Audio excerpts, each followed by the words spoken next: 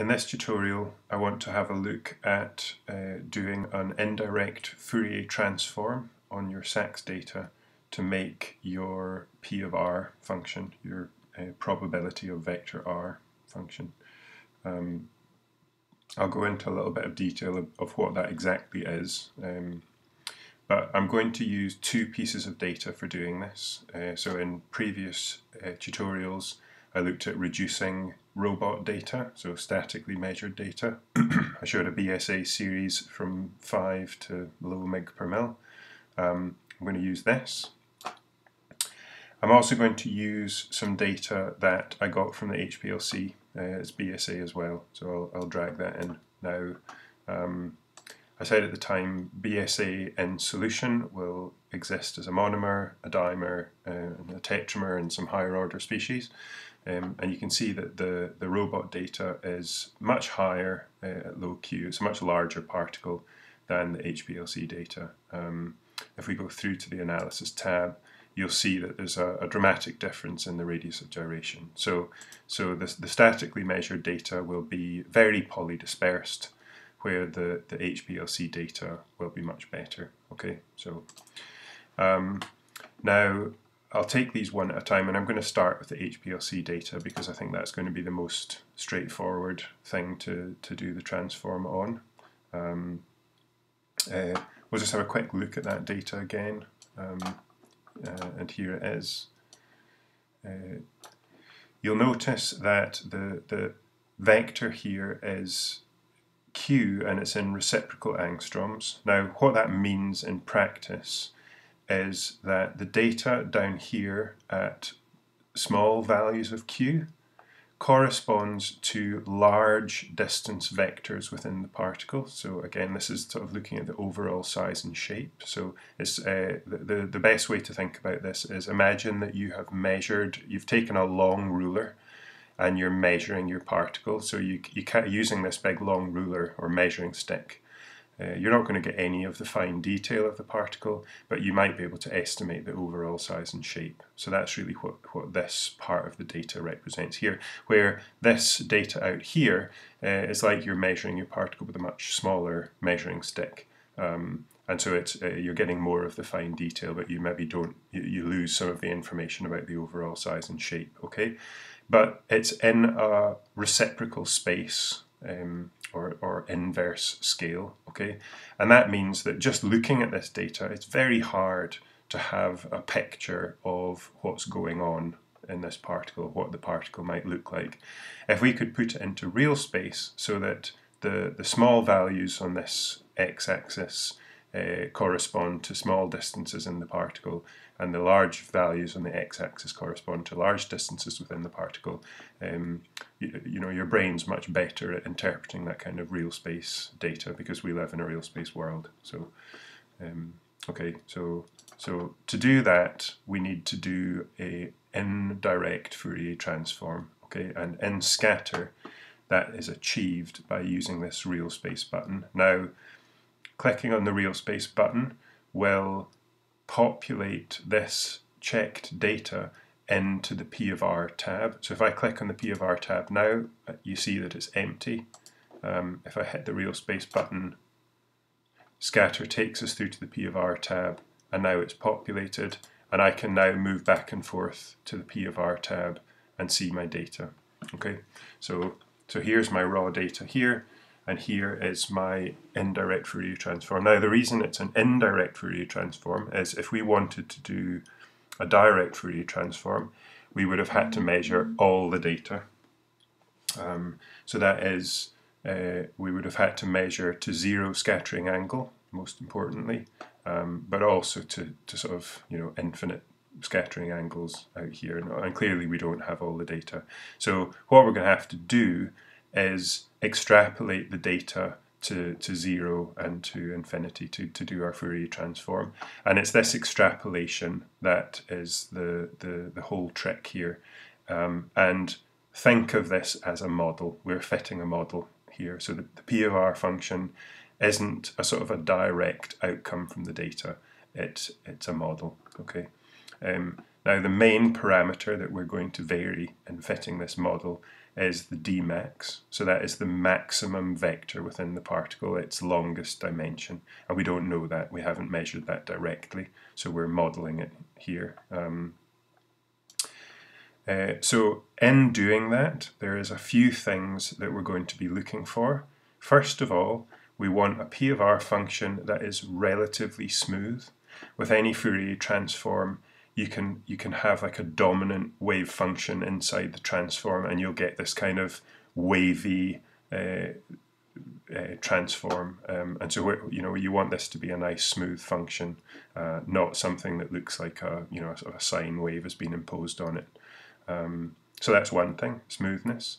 The other one is uh, you want this uh, function to approach the x-axis here in a fairly smooth uh, fashion like this. You don't want it kind of plunging in or sort of snaking away off. You don't want to see negative values like this in it.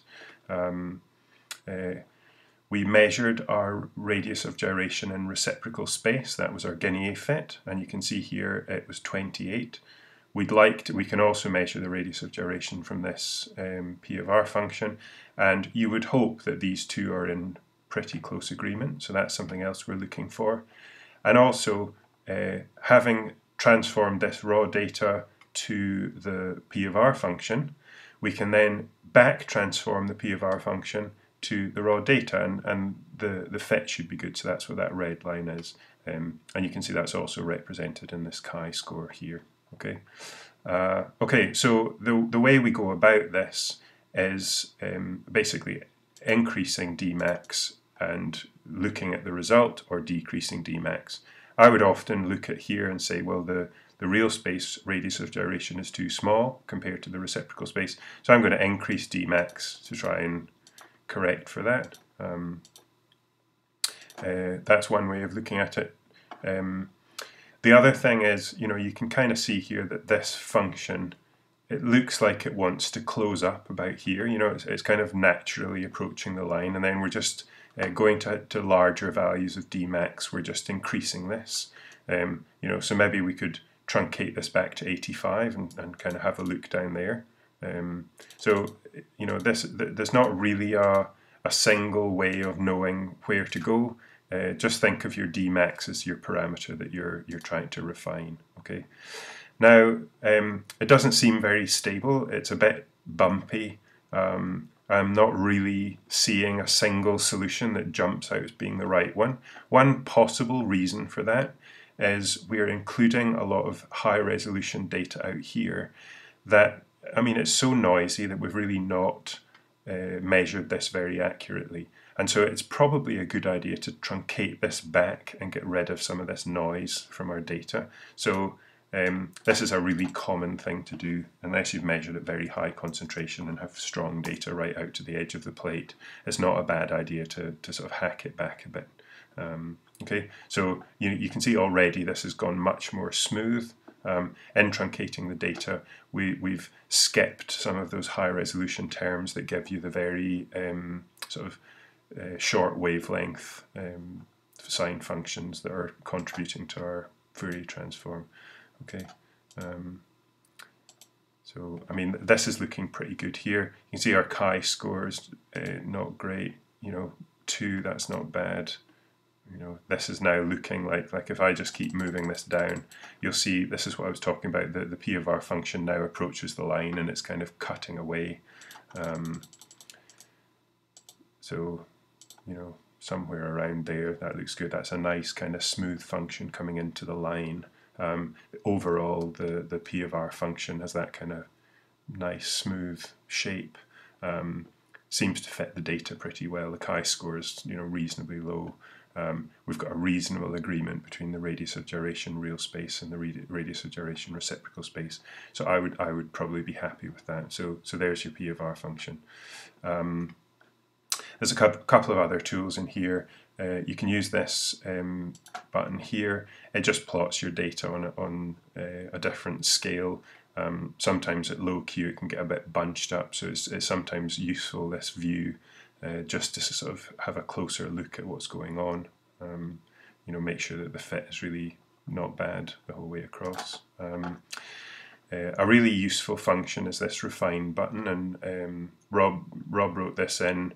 Uh, you can see it's a this, the SAXS curve is actually a fairly simple affair, um, and we have massively overmeasured it. We've got many many more data points here than we really need to to describe this curve. So uh, this refine button uh, applies a, um, sort of statistical method um, looking at outlier points. So green is good, and you can see that uh, most of the points here fit the data really well, and we've just got a few excluded points at, at, at high angle. So this is telling us that our, our P of R function is really quite good. If you see a big block of red, uh, particularly down at low Q where the signal to noise is good, um, it's, it's, probably an indication that your P of R function doesn't fit your data all that well. Um, but you know, this looks great. Okay, now just quickly, um, I'll, I'll, show you the, the P of R function for this data that's polydispersed and, and not so good. Um, so again, I'm just going to instantly cut this back to a similar place than we had the, the last one. Um, I think our P of R function before was around, what was it, 80, 85, something like there. Um, you can see that you know this is uh, we, we have a lot of fluctuation here. The the fit to the data just looks terrible. The the radius of gyration doesn't match at all. So this is a, not a good solution. Our chi-score is just horrendous. Um, so you know let's go to something really quite a bit bigger. Um, we're kind of heading in the right direction here. Um, you know maybe 130 something like that. Um, you know it's, it's, it's still it's not great. Um, uh, you know, something like something like this. I think we're probably heading in the right direction now. Um, this big tail is basically showing that uh, there's something large in the data. This will be the tetramers or, or, or something like that uh, imposing themselves. Okay, so um,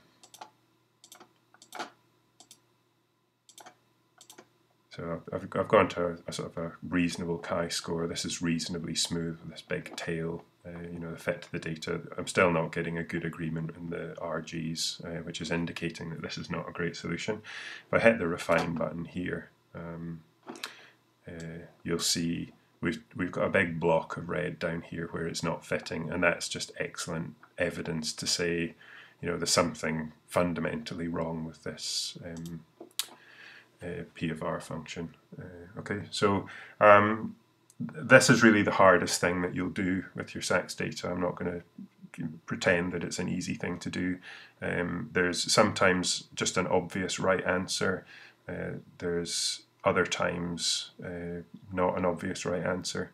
Um, and it, it really just takes practice playing about with these things. Um, I would also say that uh, there are other tools um, for doing the P of R.